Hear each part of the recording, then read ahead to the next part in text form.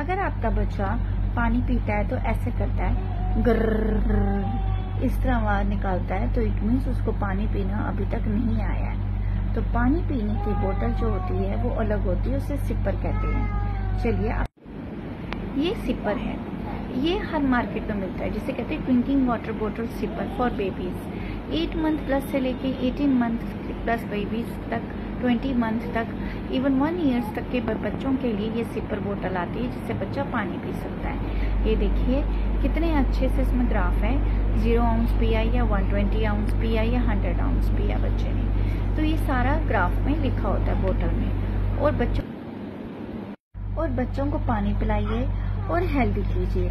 बच्चा पानी पिएगा, उतना ही उसका शरीर में पाचन खाने की क्षमता बढ़ेगी। क्योंकि गर्मी में जितना आप पानी पिलाएँगे, उतना बच्चे का यूरिन जो होता है पीला, वो पास नहीं होगा।